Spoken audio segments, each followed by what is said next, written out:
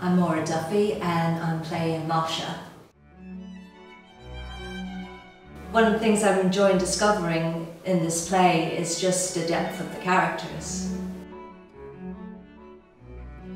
She's an independent woman.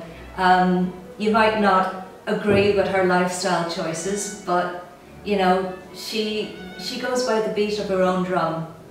And yeah, she is tragic, but she has a, a kind of a freedom that I think none of the other characters in the play quite have.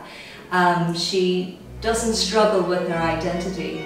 Um, she embraces the despair and um, she, you know, by, because of that I think she has a certain freedom that the other characters don't have. They, they struggle um, with their broken dreams.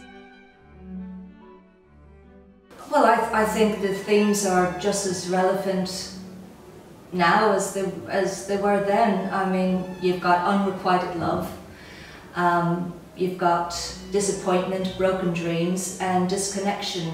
You've got this group of people that practically live in, live in each other's pockets, and yet they're totally isolated.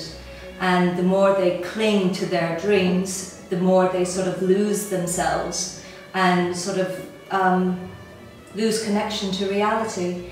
Um, they're obsessed with fame and celebrity, either being famous themselves or latching on to someone that's considered, you know, well known in their society.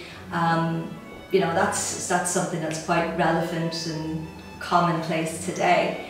And um, yeah, just, um, you know, just discovering the complexities and the sheer lunacy of the human psyche, and I think Chekhov probably does that, um, if not better than anyone. Uh, he's certainly up there with the best, and you know I think we all look for um, a better understanding of the human condition, and I think that this play and hopefully this production will uh, give that, you know, express that to the audience.